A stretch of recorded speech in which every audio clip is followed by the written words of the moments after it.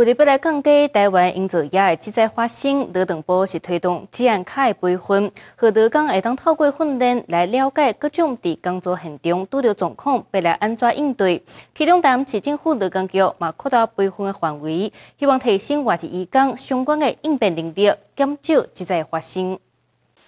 根据劳动部的资料显示，去年全台湾重大机载死亡的三百人当中，有一半以上拢是因作业。为了改善这种状况，劳动部推出治安卡的培训，和劳工培养正确的安全观念。有关治安卡这个部分，吼是呃劳动部哦治安署的一个呃全国性的政策。那这个部分就是让呃我们的劳工呢，在工地的劳工哦，可以你只要训练完之后，你可以以这个治安卡哦到各个工地去做工作，而不需要再重新去做训练。那呃，治安卡还有另外一个好处，就是说，它如果呃你如果没有训练的时候，它我们会有登记哦，我们会去查核到你这个人是不是呃我们有查呃有认证的。台南市政府的工局也将这政策扩大到外籍移工，目前台南有两百四十位通过，期待透过这政策减少外籍移工实在发生。在台南有一个好处，就是说我们扩及到。呃，外籍移工，那在外籍移工的部分哦，针对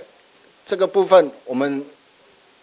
去减少外籍移工的一个职业灾害。那为什么会针对外籍移工呢？因为我们有去统计到外籍移工他的职灾在我们发生率是比较高的，所以呢，哦，我们在台南是有把这个治安卡扩及到这个外籍移工的一个部分，在治安署他推这个台湾治安卡。等于是就有一个我们共同的一个遵循的原则跟标准，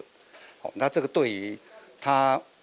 整个义工他所受的一个训练，原则上也是跟我们台湾本地的劳工，其实内容都是一样的啦，哦，就包括他们一些诶座位中的危害啊，要怎么去辨识，哦啊，不应该去从事什么危险的动作，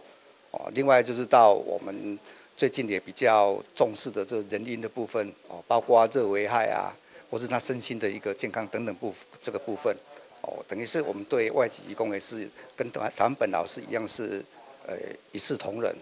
哦，这个对于我们常讲说要照顾义工，那其实这个就是很好的一个照顾义工的一个方式啦。